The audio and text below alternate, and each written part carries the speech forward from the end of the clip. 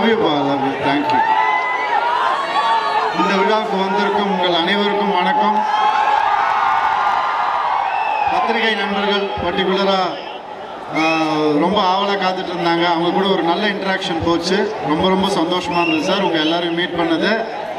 உங்களுக்காக நாங்கள் வந்திருக்கோம். எங்களுக்காக நீங்கள் வந்திருக்கீங்க. இந்த பாண்ட் எப்பவுமே இருக்கணும்னு ஆசைப்பட்றேன் நான். ஆக்சுவலாக என்னோடய பிகினிங் ஆஃப் கெரியரில் ஒரு ரெண்டு படம் பண்ணியிருப்பேன்.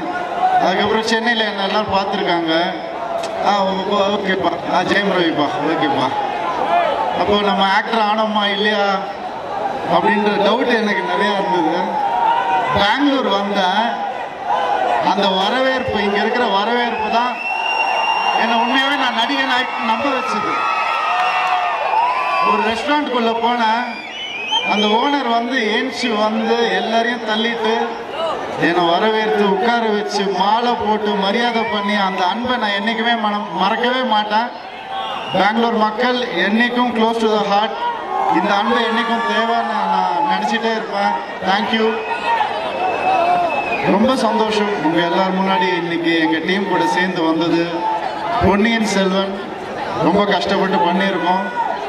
இது இந்த டீம் இல்லைன்னா நடக்கவே நடக்காது. கார்த்தி இல்லைன்னா நடக்காது. கெனி இல்லைன்னா நடக்காது. த்ரிஷா ஐஸ்வர்யா ஐஸ்வர்யா ராய். இதெல்லாம் தாண்டி மணிரத்னம்ன்ற ஒரு மாஸ்டர் இல்லைன்னா இது நடக்க வாய்ப்பே கிடையாது.